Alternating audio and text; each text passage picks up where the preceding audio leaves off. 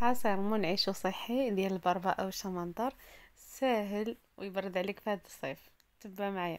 عندنا البربة كناخذوها كنسلقوها وكنقطعوها قطع كنديروها في مولينيكس. عندنا الليمون كنستعملوه ما عندناش كناخذ عصير بحال هذا اللي نوريكم. تيدير درهم.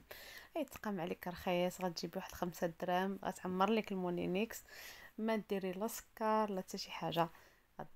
تخدمي الماكينة طحنيه. وما تصفيه ما حتى شي حاجة.